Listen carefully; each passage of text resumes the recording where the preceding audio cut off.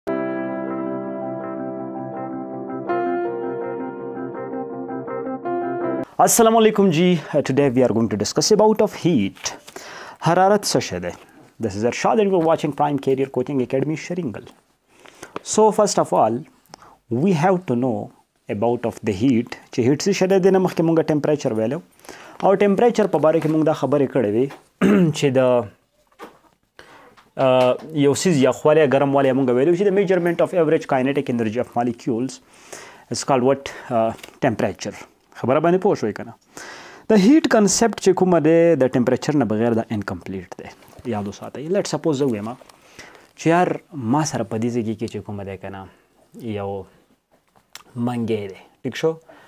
او دلته ما ته ما دې ته څه لګولې ده اور مو ته لګولې ده هیټ ورله ورکوم نو مطلب دلته چې ټمپریچر دلته زیات دی کنه ټیک شو کنه او دلته چې دننه په دې کیټل یا په دې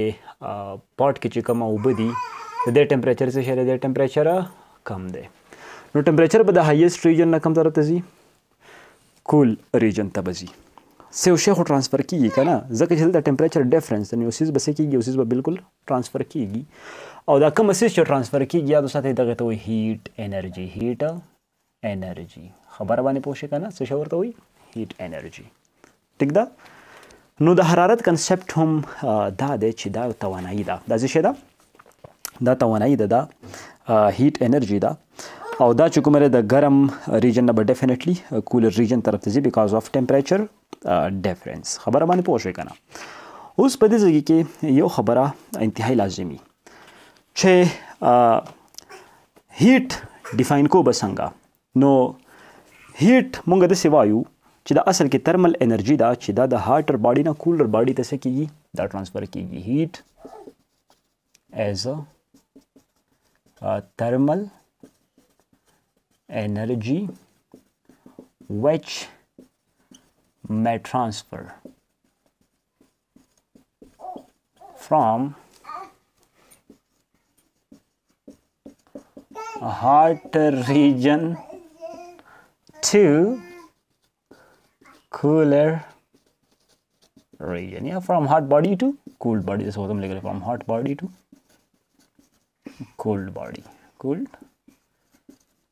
باډي دې ورته لیکل شي په تاسو باندې څه پابندي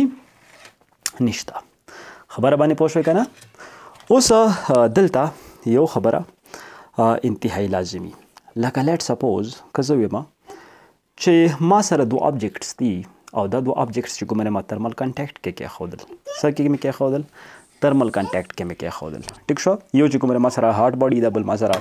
کولډ باډي ده لکه وګوره لیټ سپوز یو ما سره دا باډي نمبر ای ده دا ما سره باډي نمبر بی ده د دې ټمپریچر چې کومه 50 ډیګري سنټیګریډ دی د دې ټمپریچر چې کومه ده 15 ډیګري سنټیګریډ دی نو ټمپریچر ډیفرنس د وجه نه به هیټ د زیات ټمپریچر نه به لو ټمپریچر طرف ته به ځي مطلب دا کومه هارډ باډي چې ده دا به څه کیږي دا به کول کیږي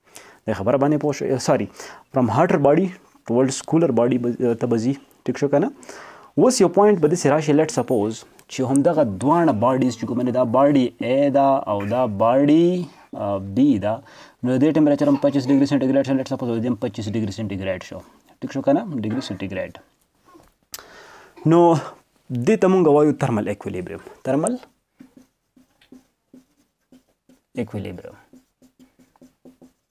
ټیک شو ترمل اکویلیبریم ورته وایي دیته چې کله د دوه جسمونو ټمپریچر سیمي نو دته بیا څه شوی دیته بیا وایي ترمل اکویلیبریم ورته وایي خبر باندې پوه شئ کنه نو دلته چې کومه ټیک ده انرژي خو ترانسفر کیږي مطلب د هیټ ترانسفر کیږي فرام هاټ ریجن ټو کولر باډي ټیک شو فرام هاټ باډي ټو کول باډي او دلته چې کومه هیټ ترانسفورمیشن چونکه دواړه څه دي برابر دي نو دې ته ځکه څه شوی چې دواړه باډي په ترمل اکولیبریم کې دي د هیټ ایکسچینج چې کومه ده د دوه جسمونو په منځ کې نه کیږي خبره باندې پوه شوي که نه اوس دلته چې ټیک ده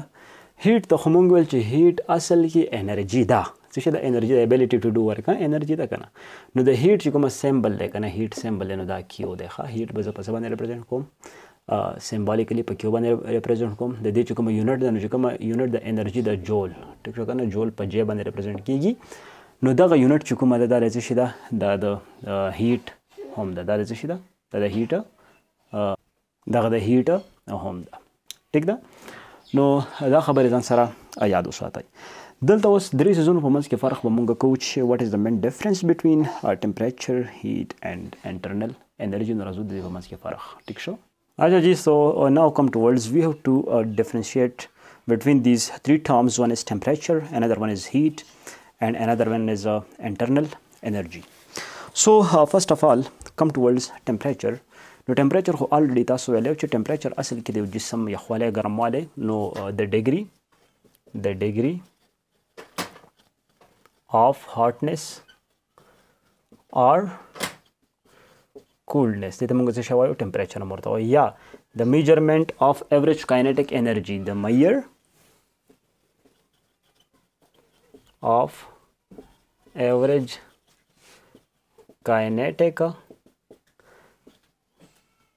انرژي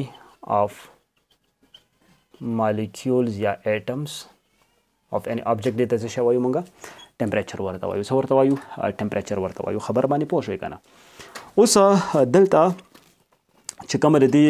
یونټ د سیمپل د موږ په کیلونز کې میر کوو د دې په باره کې به په ډیټیل کې خبرې کوو ان شاء الله کیلونز دا به زه ته وایم چې په سیستم انټرنیشنل کې د ټمپریچر یونټ چې کوم دا کیلون ده د تاسو فرست چپټر کوم ویلي دي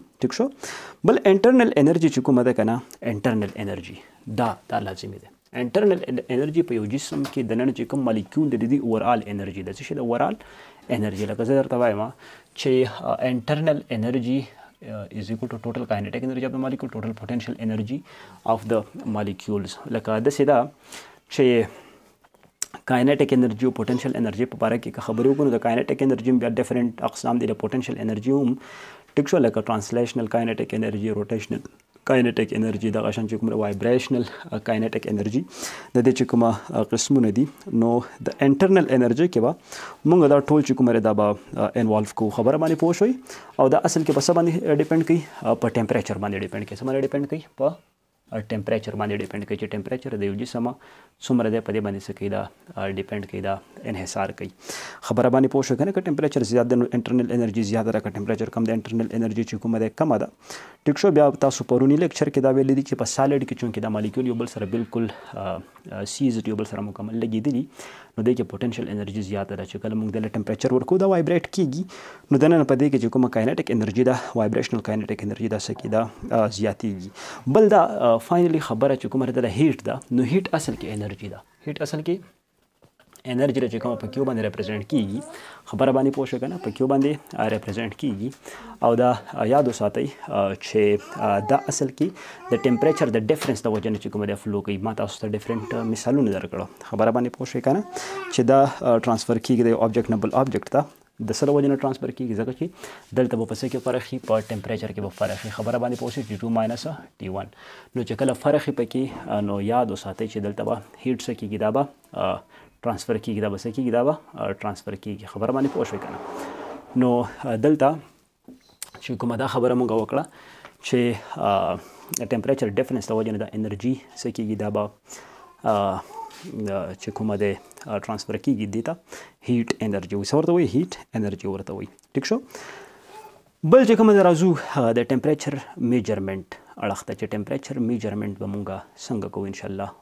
په بل لیکچر کې به دا وایو چې ټمپریچر میجرمنټ مونږه څنګه به کوو ټیک شو طریقه کار د دې څه دی نو دلته چې کومه د دې کنکلوژن لر اعظم چې نن تاسو سو پیژندل نن تاسو هیټ په باره کې خبرې وکړې هیټ چې هیټ څه شی د هیټ انرژي ده چې ټمپریچر ډیفرنس د وجه نه چې کومه ده د یو ځای نه بل ځای ته څه کیږي دا ټرانسفر کیږي چه دا به همیشه د پاره د هارت ریجن ساری یا ټمپریچر ډیفرنس د وجه نه به دا څه کیږي دا به ترانسفر کیږي ټیک شو کنه ټمپریچر زیات دی ټمپریچر چې کوم دی کم دی نو دا به دې سایډ نه دې طرف ته ترانسفر کیږي خبره باندې پوه شي بیا که د دوو جسمونو په منځ کې ټمپریچر یو شانتي نو دلته چې کومه بیا دې ته وایي چې دا ترمل اکویلیبریم کې دی څه شي کې ترمل اکویلیبریم کې دی خبره باندې ورسېدی که نه د هغې نه پس چې کومه ده بیا موږ د انټرنل انرژي هیټ او د ټمپریچر په منځ کې فرق وپیژنو یخوالی ګرموالی ټمپریچر انټرنل انرژي ټوټل انټرنل انرژي که کاینټیک انرژي ده که پوټنشل انرژي ده د دې مالیکول دې ته څه وایي دې ته وایي ټوټل انټرنل انرژي او دا په ټمپریچر باندې چې کومه ډیپند کوي د یو جسم هیټ چې کومه د نو هیټ اصل کې د ټمپریچر ډیفرنس ته وجه نه ترانسفر کیږي نو هله لرم په دې لیکچر باندې به تاسو پوه شئ د مزید داسې ویډیوز لپاره تاسو موږ چینل لایک کړئ سبسکرایب کړئ او شیر یې ضرور کړئ ثانک یو